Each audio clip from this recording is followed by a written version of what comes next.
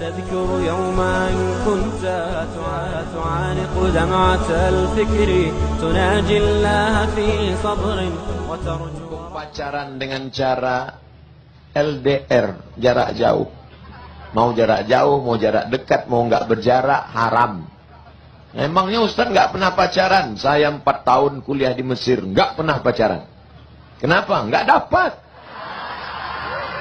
Jarak kampus laki-laki perempuan 15 km.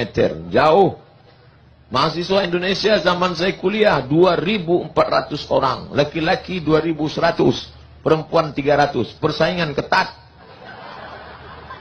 Maka saya sekarang pede menyampaikan ke mahasiswa, ke adik-adik, ke anak-anak muda. Jangan pacaran. Buanglah mantan pada tempatnya.